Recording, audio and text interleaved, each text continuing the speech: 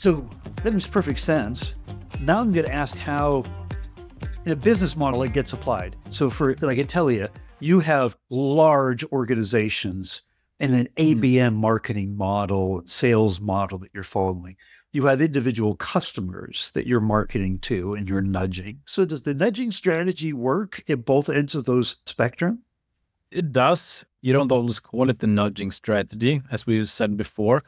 Most of us are doing it in everyday life without thinking about it. You won't get someone make a life changing choice or a small choice, just deciding what to eat for dinner or deciding what the TV package or what the phone package, how many gigabytes of surf do I need? You always have to find the essence and the need. And a great way of doing that is just staying curious and trying to listen in.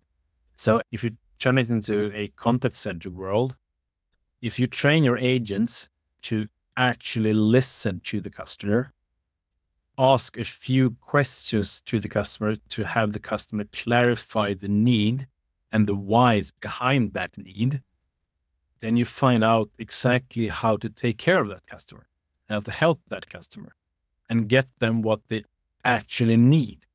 And if you're in it for the long term, you will give your customer what they need and not maybe what's best for your two week profit.